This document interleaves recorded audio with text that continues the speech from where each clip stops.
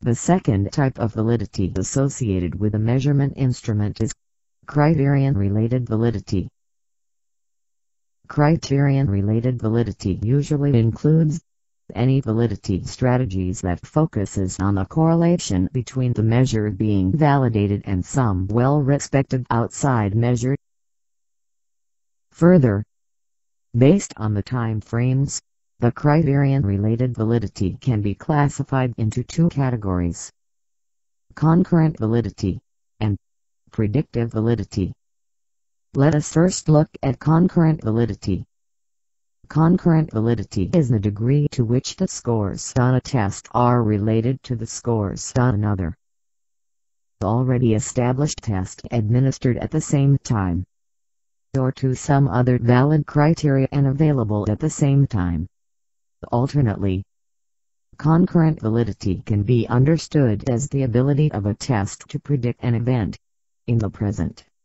For example, Say a school teacher needs more volunteers for the upcoming annual function. For this, she decides to use a test to determine who all can volunteer effectively.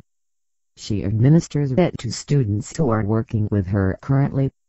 She then checks to see whether students who score high on her test are the same students who are effective volunteers.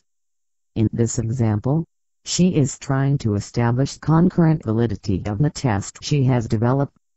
Second type of criterion-related validity is predictive validity. Predictive validity is the degree to which the scores on a test are related to the scores on another test administered at some future time. Alternately, predictive validity refers to the ability of a test to measure some event or outcome in future. For example, Suppose that you develop a cognitive test and you claim that it can be used as an indicator of job performance of an employee. The predictive validity of this measure can be tested by estimating the correlation between test scores of the employees and, for example, say the year-end performance ratings given by the managers.